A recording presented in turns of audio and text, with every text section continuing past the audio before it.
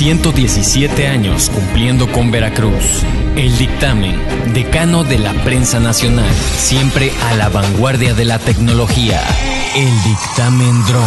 Desde las alturas. Una nueva perspectiva de la información. Galerías de eventos destacados. Videoreportajes y noticias de último momento en eldictamen.mx. Y ahora también nos escuchas. Eldictamen.mx diagonal radio. Es lo de ahora.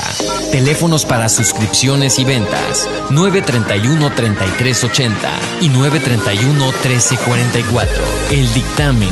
Decano de la prensa nacional. 117 años consintiendo a nuestros lectores.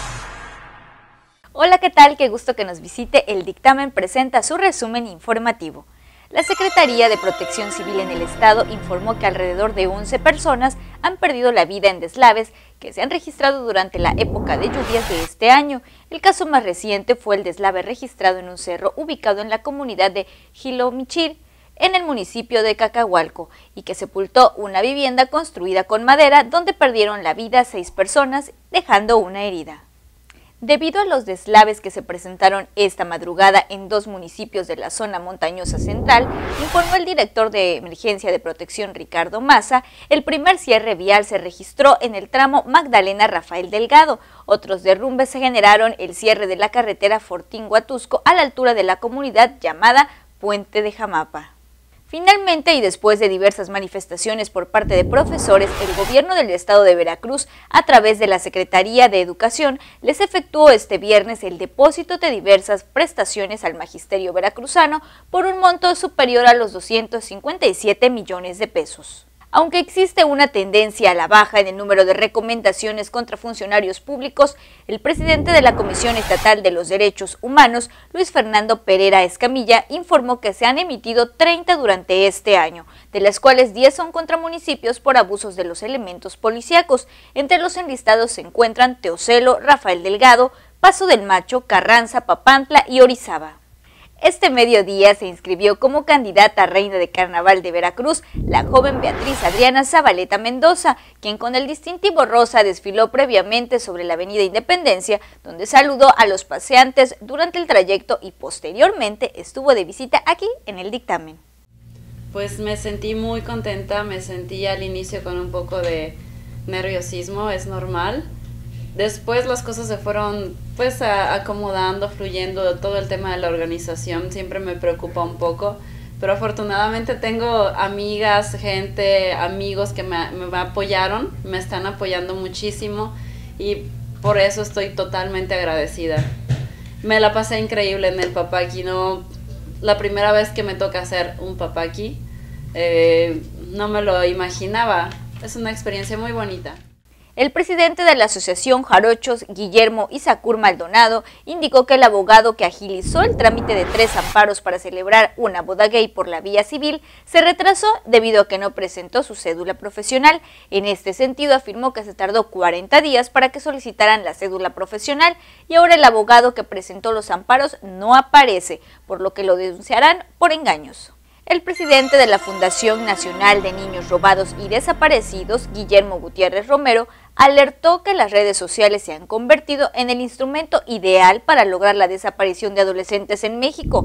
El entrevistado aseguró que a nivel nacional se tienen reportados el robo de cerca de 5.600 casos de infantes desaparecidos por diversas causas, es decir, robo, engaño, trata, falsos novios, redes sociales, explotación laboral, sexual, pornografía infantil y tráfico de órganos. Los seis mexicanos heridos en Egipto el pasado domingo llegaron este viernes a México y la titular de la Secretaría de Salud, Mercedes Juan, informó que se encuentran delicados pero estables y fueron trasladados para su atención al Instituto Nacional de Rehabilitación. Los connacionales presentan lesiones de piel, fracturas de huesos y quemaduras, aunque no presentan heridas de bola sino esquirlas. Tras la llegada al país de los seis mexicanos heridos en Egipto, la secretaria de Relaciones Exteriores, Claudia Ruiz Macié, exigió que haya sanciones, se deslindan responsabilidades hacia quienes realizaron la agresión en contra de los connacionales en aquel país y se realice una investigación exhaustiva. Sin embargo, a pesar de que dijo que los hechos son sucesos sin precedentes, la canciller señaló que la relación con Egipto es larga y valiosa. El número de muertos a causa del terremoto ocurrido la noche del pasado miércoles en el norte de Chile asciende ya a 12, así lo informó el ministro del Interior Jorge Burgos, quien señaló que además hay cinco desaparecidos. La última víctima es un hombre aún no identificado que murió en la región de Coquimbo, la zona más afectada por el movimiento telúrico. La parroquia de Santa Ana del Vaticano acoge desde hace días a una familia de refugiados sirios, dos semanas después del llamamiento del Papa Francisco para que parroquias y monasterios del mundo brinden asistencia a estas personas. Alemania puede ofrecer un hogar a muchos refugiados, pero no a todos, dijo el vicecanciller federal y ministro alemán de Economía, Sigmar Gabriel. Gabriel alzó la voz para pedir mayor solidaridad por parte del resto de miembros de la Unión Europea y de los Estados Unidos en la acogida de refugiados. La Reserva Federal de Estados Unidos resolvió que las condiciones actuales de su economía y los riesgos externos a los que está expuesta no son convenientes para el costo de dinero, medido a través de la tasa de interés, se ha elevado. La Confederación Brasileña de Fútbol presentó un recurso ante el Tribunal de Arbitraje del Deporte contra la decisión de la Confederación Sudamericana de Fútbol y de la FIFA para suspender durante cuatro partidos al delantero brasileño Neymar, expulsado en la pasada Copa América. La actriz Megan Fox volverá a la pantalla chica con un papel explosivo, pues ocupará el lugar de Zoe Channel en New Girl. De acuerdo a Deadline y al portal del mundo, Fox debutará en el sexto episodio de la quinta temporada de la serie, luego que The Channel se convirtiera recientemente en mamá.